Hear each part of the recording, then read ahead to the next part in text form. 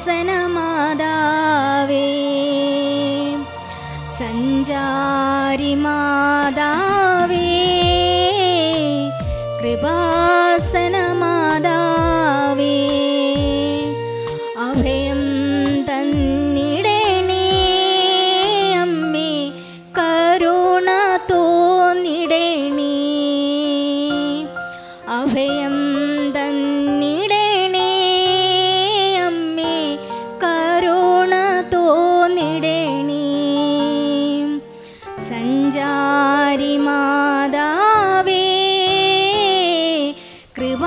കൃപാസന എന്റെ പേര് വിജി. ഞാൻ മാന്നാർ കുട്ടമ്പേരു എന്ന സ്ഥലത്ത് നിന്ന് വരുന്നു. ആദ്യമായിട്ട് ഒരു യോഗ്യതയില്ലാത്ത എന്നെ ഈ അൾട്ടാരയിൽ കയറ്റി നിർത്തിയ എന്റെ പരിശുദ്ധി അമ്മയ്ക്കും തിരുവുമാനും ഒരായിരം നന്ദി. ലേലിയോ സ്വോത്രം. ഞാൻ ആദ്യമായിട്ട് എന്റെ കൂട്ടുകാരിയുടെ കൂടെയാണ് ഇവിടെ മാതാവിനെ കാണാൻ വന്നത്. എന്നാൽ അവരെല്ലാം ഉടമ്പടി എടുത്തിട്ടും ഞാൻ ഉടമ്പടി എടുത്തില്ല. കാരണം ചെറുപ്പം തൊട്ടേ ഞാൻ യേശുവിനെയായിരുന്നു വിശ്വസിച്ചിരുന്നത്. ഹിന്ദുവാണ് ഞാൻ. ആം, അന്ന് തൊട്ട് ഞാൻ ബൈബിൾ വായിക്കും. അതുകൊണ്ട് മാതാവിനോട് എനിക്ക് അത്ര വലിയ അറ്റാച്ച്മെന്റ് ഒന്നും ഇല്ലായിരുന്നു. പക്ഷേ അത് കഴിഞ്ഞ് പിന്നെ ഞാൻ ഇവിടെ വന്ന ശേഷം ഓഗസ്റ്റിൽ എന്റെ ജോലി പോയി. ഞാനൊരു ബോയ്ക്കറിലാണ് ജോലി ചെയ്യുന്നത്.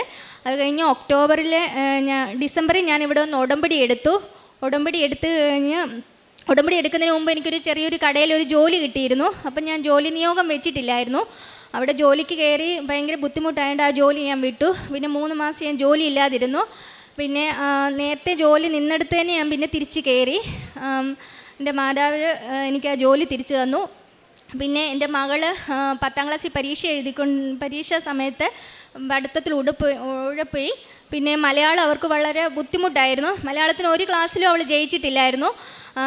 ഞാനിവിടെ പ്രതിഷേധ പ്രാർത്ഥന മകളെ കൊണ്ട് ചെല്ലിക്കുകയും അത് എഴുതിപ്പിക്കുകയും ചെയ്തതിന് ചെയ്തിട്ട് മലയാളത്തിന് സെക്കൻഡിന് എ പ്ലസ് കിട്ടുകയും ഫസ്റ്റിന് അവൾ ജയിക്കുകയും ചെയ്തു.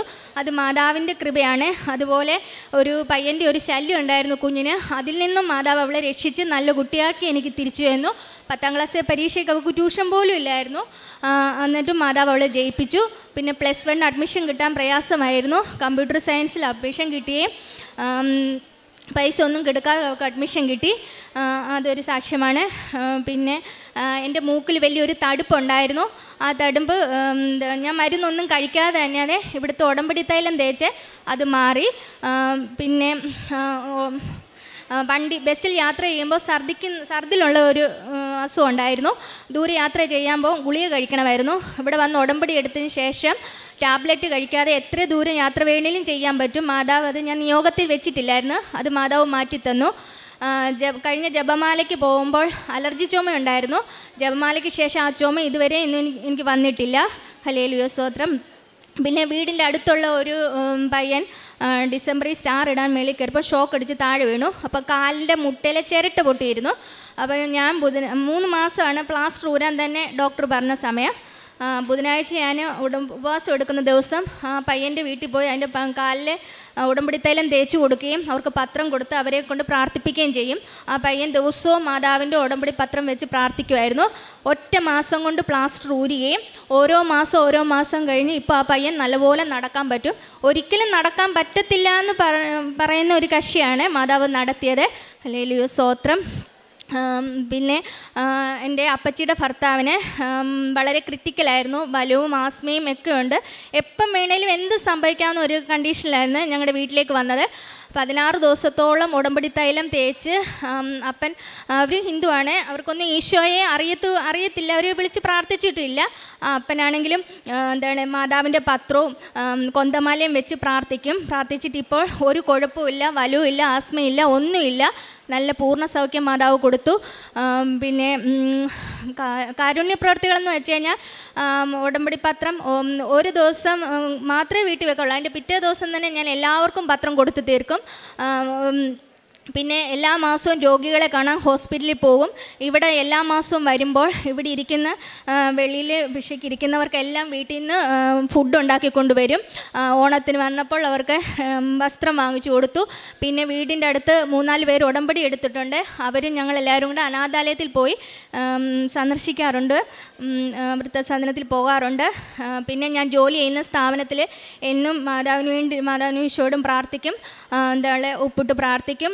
ഓർഡർ ബുക്കിലാണെങ്കിലും കാശ് രൂപവും തൈലവും വെച്ച് പ്രാർത്ഥിക്കുക ആ പേജുകളിലെല്ലാം മാതാവ് ഓർഡർ കൊടുത്ത് അനുഗ്രഹിക്കും. അതൊക്കെ പരിശുദ്ധ അമ്മയുടെ കൃപയാണെന്ന് വിശ്വസിക്കുന്നു. അല്ലെങ്കിൽ സ്തോത്രം. ആ, പിന്നെ മാതാവ് തന്ന എല്ലാ അനുഗ്രഹങ്ങൾക്കും കൃപകൾക്കും ഒരുപാട് നന്ദി. മുപ്പതാം സങ്കീർത്തനത്തിന്റെ നാലാം വാക്യത്തിൽ നമ്മളിങ്ങനെ വായിക്കുന്നു. കർത്താവിന്റെ വിശുദ്ധരെ അവിടുത്തെ പാടിപ്പുകഴ്ത്തുവൻ അവിടുത്തെ പരിശുദ്ധ നാമത്തിന് കൃതജ്ഞത അർപ്പിക്കുവൻ. സ്നേഹം നിറഞ്ഞവരെ വിജി എന്ന സഹോദരിയാണ് തന്റെ ഉടമ്പടി ജീവിത സാക്ഷ്യം നമ്മളുമായിട്ട് പങ്കുവച്ചത്. ഈ സഹോദരി നമ്മളോട് പറഞ്ഞു എങ്ങനെയാണ് കൃപാസനത്തിലേക്ക് വരുവാനായിട്ടുണ്ടായ സാഹചര്യമെന്ന്? നമ്മളൊരു വ്യക്തിയോട് കൃപാസനത്തെക്കുറിച്ച് പറയുമ്പോൾ പരിശുദ്ധ അമ്മയെക്കുറിച്ച് പറയുമ്പോൾ കൃപാസനം പത്രം കൊടുക്കുമ്പോൾ നമ്മൾ തിരിച്ചറിയണം നമ്മൾ കൊടുക്കുന്ന ആ വ്യക്തിക്ക് നമ്മുടെ ദൈവാനുഭവമാണ് പകർന്നു കൊടുക്കുക. ആ വ്യക്തി പരിശുദ്ധ അമ്മയുടെ സന്നിധിയിലേക്ക് വന്നു കഴിയുമ്പോൾ പരിശുദ്ധ അമ്മയുമായിട്ട് ആഴമായിട്ട് ബന്ധപ്പെട്ട് ഉടമ്പടി ജീവിതം നയിക്കുവാനായിട്ട് തുടങ്ങുമ്പോൾ അവരുടെ ജീവിതത്തിൽ അവരനുഭവിക്കുന്ന ഓരോ വിഷമതകളിലും പ്രശ്നങ്ങളിലും പോരായ്മകളിലും അവർക്ക് പരിശുദ്ധ അമ്മയിൽ പരിഹാരം കാണുവാനായിട്ട് സാധിക്കുന്നു എന്നുള്ളതാണ്. അങ്ങനെ പ്രേക്ഷിത പ്രവർത്തനമായിട്ട് നമ്മൾ ഒരു വ്യക്തിയുടെ ജീവിതത്തിലേക്ക് ദൈവ തിരുനാമത്തിന്റെ മഹത്വത്തിന് വേണ്ടിയിട്ട് ദൈവത്തെ അവർക്ക് പരിചയപ്പെടുത്തുമ്പോൾ പറഞ്ഞു കൊടുക്കുമ്പോൾ ദൈവികമായിട്ടുള്ള വലിയ കൃപയുടെ അനുഭവത്തിലേക്ക് നമ്മളും അതുപോലെ തന്നെ നമ്മൾ ആർക്കാണോ ഈശോയെ കൊടുക്കുന്നത് അവരും കടന്നു വരുന്നത് നമുക്ക് കാണുവാനായിട്ട് സാധിക്കും. ഈ അൾത്താരിൽ ഒത്തിരിയേറെ സാക്ഷ്യങ്ങൾ ഈ സഹോദരി പറയുമ്പോൾ ദൈവത്തെ അറിയുവാനായിട്ട് കിട്ടിയ വലിയ സന്തോഷവും അതുപോലെ തന്നെ അറിഞ്ഞ ദൈവത്തിൽ ആഴപ്പെട്ടുകൊണ്ട് ആ ദൈവത്തിന്റെ നാമത്തെ മഹത്വപ്പെടുത്തിക്കൊണ്ട് അൽത്താരിൽ നിന്നുകൊണ്ട് സാക്ഷ്യം പറയുവാനായിട്ട് ഈ സഹോദരി കാണിക്കുന്ന വലിയ മനോഭാവത്തിനും പരിശുദ്ധനായ ദൈവത്തിന്റെ നാമത്തെ നമുക്ക് ഇരുകരങ്ങളും അടിച്ച് മഹത്വപ്പെടുത്താം. ഈ സഹോദരിയുടെ ജീവിതത്തിൽ ചൊരിഞ്ഞ എല്ലാ അനുഗ്രഹങ്ങൾക്കും കൃപകൾക്കും നമുക്ക് നന്ദി പറയാം. അത്യപൂർവ ദൈവാനുഭവങ്ങൾ. സ്വന്തം. ഈ യൂട്യൂബ് ചാനൽ ഇതുവരെ സബ്സ്ക്രൈബ് ചെയ്തിട്ടില്ലെങ്കിൽ ഇപ്പോൾ തന്നെ സബ്സ്ക്രൈബ് ചെയ്യുക. ഈ വീഡിയോ ഇപ്പോൾ തന്നെ നിങ്ങളുടെ സുഹൃത്തുക്കൾക്ക് ഷെയർ ചെയ്തുകൊണ്ട് കർത്താവിന്റെ പ്രേക്ഷിതരാകുക.